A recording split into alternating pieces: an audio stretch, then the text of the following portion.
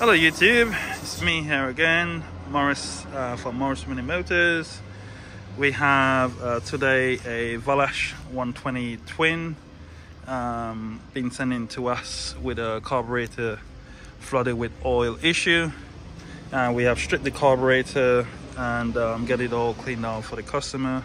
As you can see, this one fitted with the electric um, start and which we have it all rigged up. So that's what we use today to get it up and running. So far, we have done several tests on it and the carburetor is quite clean.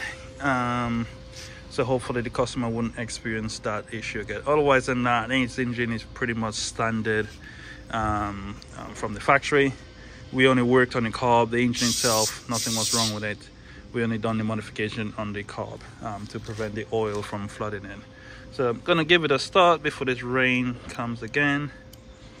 Ignition on, that should make a series of noises. And I'm using electric start as I said, my um, servo tester. So here we goes.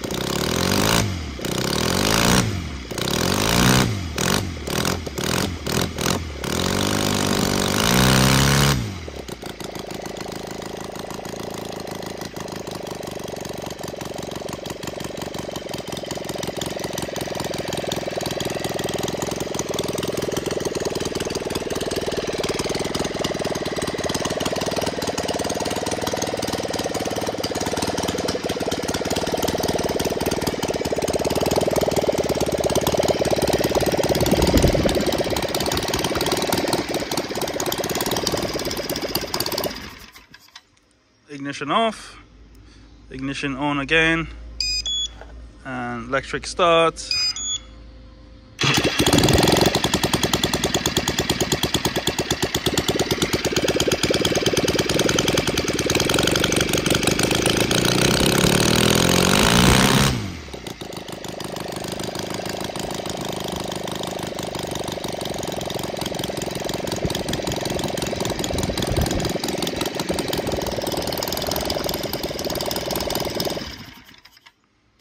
okay. I think that's pretty much it um, because it's getting really wet here now.